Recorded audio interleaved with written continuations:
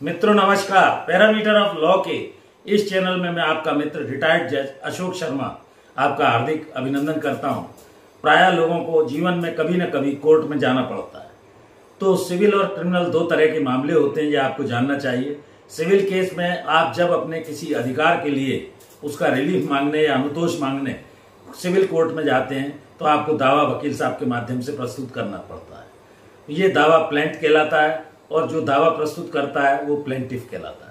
जिसके विरुद्ध प्रस्तुत किया जाता है, वो डिपेंडेंट होते हैं प्रतिवादी के रूप में। तो वादी और प्रतिवादी के मध्य उस दावे को सिविल कोर्ट में प्रस्तुत किया जाता है। पूरी व्यक्ति जो एक प्रक्रिया सिविल प्रोसीजर कोड 1908 है, उसके तहत तय है।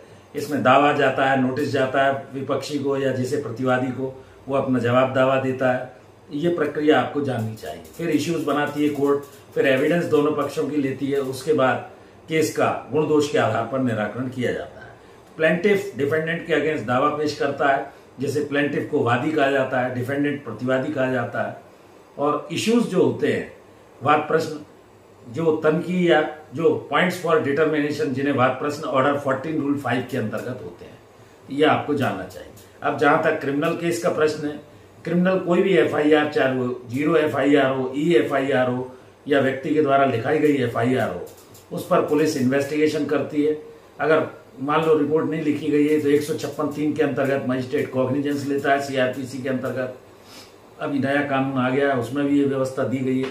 और चार्जशीट के लिए जब इन्वेस्टिगेशन कंप्लीट हो जाता है तो तीन फॉर्म में वो आरोप पत्र के रूप में या अभियोग पत्र या चालान के रूप में एक प्रस्तुत किया जाता है, न्यायालय के समक्ष इन्वेस्टिगेशन कंप्लीट करने के बाद। और यदि मामले में सफिशियंट एविडेंस नहीं आई है, जैसा कि आरोप पत्र में या किसी उसमें प्रमाणित करने के लिए एफआईआर से तो फिर वो खात्मा भी एफआईआर, पुलिस खात्मा रिपोर्ट प्रस्तुत मजिस्ट्रेट के समक्ष करती है। फरियादी यदि झूठी रिपोर्ट की गई है तो ईआर प्रस्तुत की जाती है। ये सब मजिस्ट्रेट के समक्ष प्रस्तुत की जाती हैं। ये चीज़ें आपको जाननी चाहिए।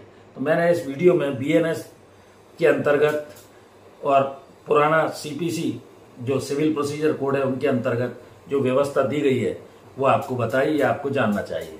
तो इस तरह प्लेंट और चार्जशीट के बारे में मैं संभवतः आपको बताने में सफल हुआ ऐसा मैं मानता हूँ। जुड़े रहिए इस तरह की जानकारियों के लिए पैरामीटर ऑफ़ लॉ चैनल से। समाज के सभी व्यक्तियों के लिए, विद्यार्थियों के लिए, लॉ फ्रेटर्नी से जुड़े लोगों के लिए, सीए आदि के लिए, एमबीए के लोगों के लिए, सबके लिए ये चैनल उपयोगी है। छोटे छोटे वीडियोज़ मैंने इस चैनल पर डाले हुए हैं। आप प्ले लिस्ट में जाइए, अपनी जानकारी बढ़ाइए। जैसा मैं कहता आ रहा हूँ नॉलेज इज़ पावर यदि आप विद्या का जो है, पढ़ाई करते रहेंगे, ज्ञान रखेंगे तो आप शक्तिशाली बनेंगे, समाज में बैठने उठने लायक होंगे, आपकी जानकारी अप टू डेट रहेगी। इन सब, सभी शब्दों के साथ इस वीडियो में यहीं तक फिर मिलते हैं नए वीडियो के साथ। एक और अनुरोध, मेरी धर्मपत्नी श्रीमती अर्चना शर्मा का भी यूट्यूब पर एक चैनल, अर्चना आरटीएफ के नाम से है, उससे भी जुड़िए। और नई नई जानकारी उसके वीडियोस देकर लेते रहिए। देखकर लेते रहिए। धन्यवाद। इस वीडियो में यहीं तक फिर मिलते हैं अगले वीडियो के साथ। नमस्कार।